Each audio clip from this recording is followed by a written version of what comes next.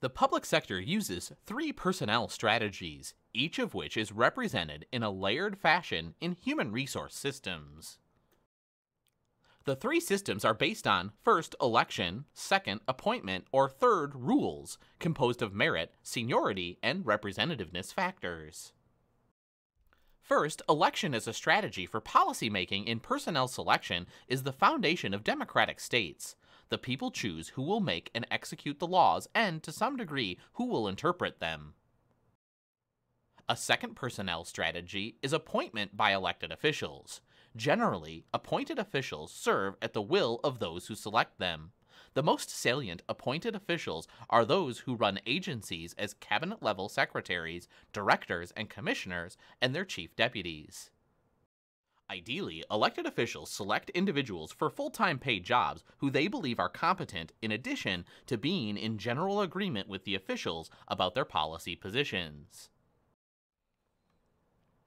Common practice used to allow elected officials to choose appointees in general government service on the spoils principle, either to reward political supporters or to indirectly enhance their own personal situations, such as through the appointment of family members without regard for competence.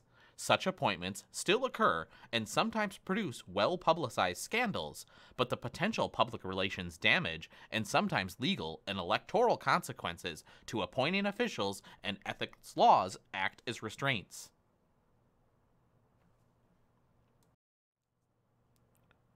A third strategy is rule based selection, which affects the bulk of those in public service. This strategy gives precedence to merit and is based on technical qualifications and competitive selection. Removal from office is often only for cause.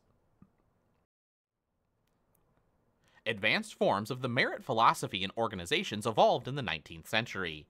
Two fundamental types of merit strategies exist rank and job strategies and rank and person strategies. Rank and job personnel strategies, also known as rank and position strategies, are the norm in the United States but less common elsewhere. Rank and salary are determined by the position that one holds. Substantial salary increases and higher statuses are attained only through movement into better jobs, but multiple promotions within an organization are unusual beyond the predetermined job series. Career development is the responsibility of the incumbent, the job holder, and promotions are normally open competitions, including lateral entry from outside the organization, leading to the term open personnel system. Rank in person emphasizes the development of incumbents over time, especially within the organization, and tends to lead to closed systems. A closed personnel system provides few opportunities for lateral entry by those outside the organization. They allow for more position mobility because personnel carry their ranks with them no matter what their current assignment. Closed personnel systems typically have a strong up or out philosophy, that is, those who are not promoted eventually may be terminated. Hybrid or mixed strategies are also possible. In selected cases, public servants are appointed but serve for set terms. Examples are state public safety directors and university regents, similar to elected officials.